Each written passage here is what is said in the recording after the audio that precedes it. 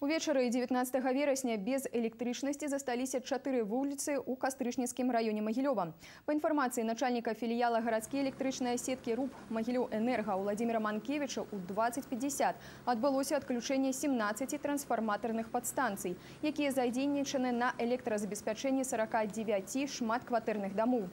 Без святла былі дамы па бульвары непакораных праспекце Шміта, вуліцы Сіманова, Габраўскай. Для выяўлення пашкоджанага участку і аднаўлення забеспячэння на месцы накіравалі дзве аператыўна э, выязныя брыгады ў 22.05 электрычнасць падалі ў дамы. У гарадскіх электрычных сетках паведамілі адключэнне насіла аварыйны характар.